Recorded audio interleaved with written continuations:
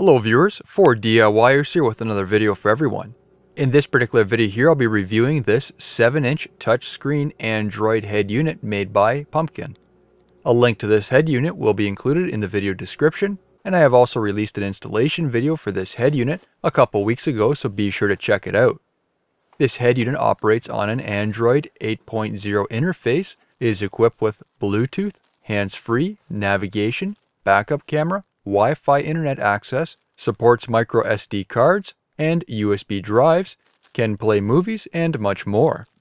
The best way to describe this unit, it's basically like having a small computer built into your dashboard.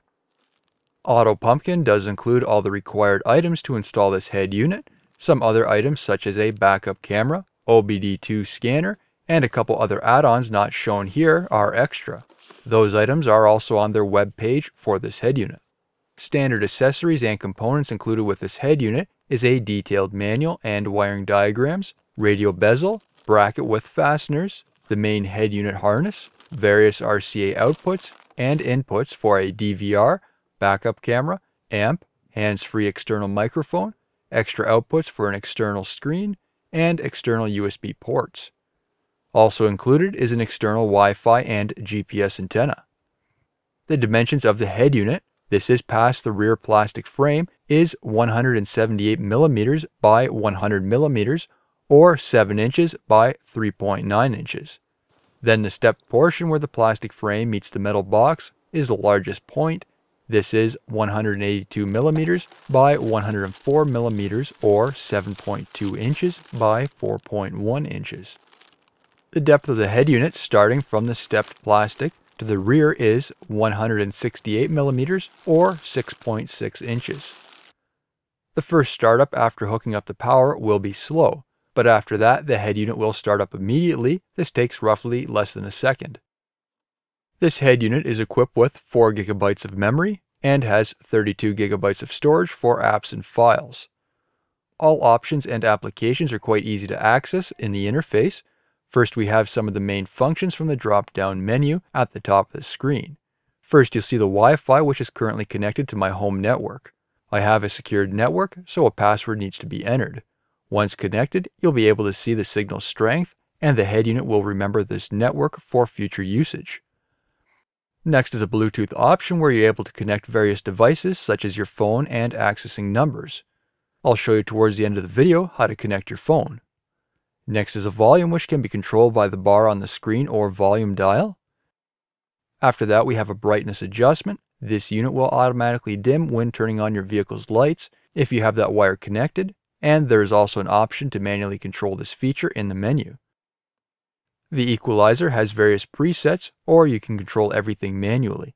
If you have a subwoofer, this can be controlled by an equalizer, and we have a loudness option to enhance the sound output. The fader, just like any other stereo, gives us control which speakers are used and how much output they have. And finally a system clearing setting that shuts down any apps in the background for a smoother operation. Now if you want to go back to any previous menus, this can be done by the screen or the back button on the left. Setting up the radio stations is quite easy and 12 presets can be activated. Simply type in the station you want by using the keypad, then press and hold the preset on the menu. This head unit can receive data broadcasted by a radio station, such as the station's name and the name of the songs being played. The equalizer can also be accessed through here too. For navigation, this can be accessed from the buttons on the bottom of the main screen or on the side of the head unit buttons.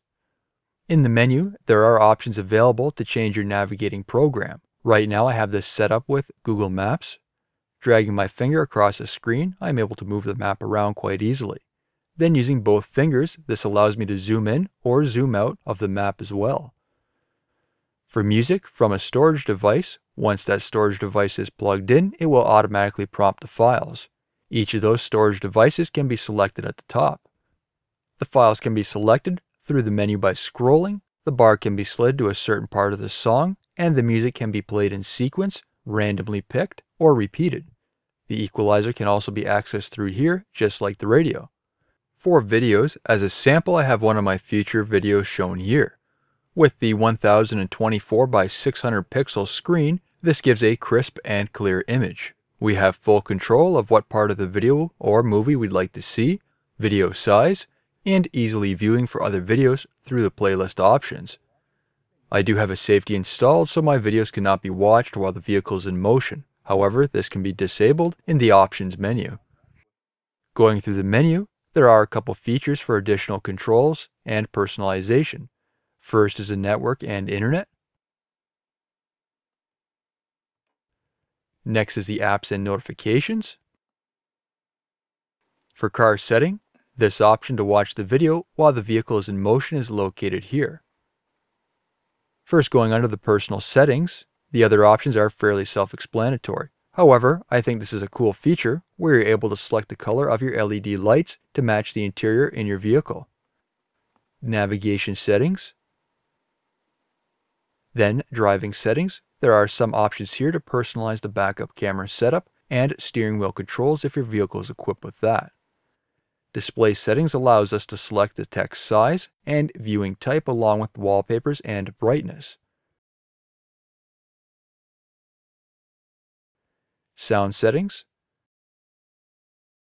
Screenshot settings, Storage of the head unit so you're able to see the current space taken and space left, Service and security, user accounts, accessibility to make the unit a little easier to use for hands-free operation or those who have a hard time seeing. Next, we can see all the apps installed by selecting the option on the home screen. We have quite a few different applications here ranging from a video or photo viewing, music, maps, calculator, internet browser, etc. The main menu style can also be changed to a different setup, which shows a few more applications than compared to the other menu. Going over the file viewer, I'm using my cover photo as an example from the video. You can inspect the image closer by zooming in and then zooming out to view the image as a whole. For the Torque app, AutoPumpkin does have a wireless OBD2 transmitter available and the Torque app is able to display that information. This transmitter is plugged into the vehicle's OBD2 port, and you'll see the lights illuminated on the transmitter. You'll need to connect to the Wi-Fi signal from the transmitter and enter a password, which is found in the instructions. Displaying all the apps in the head unit, scroll over to the Torque app. Once started, we're in the main menu of the app. First, we can scan the computer for any fault codes. If codes are found, they can be erased.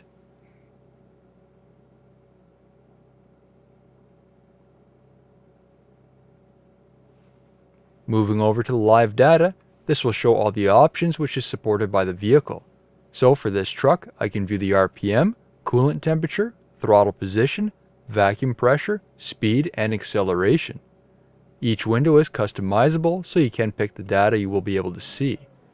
With the GPS, the app can also calculate the performance statistics of the vehicle, such as the 0 to 60 and drag times.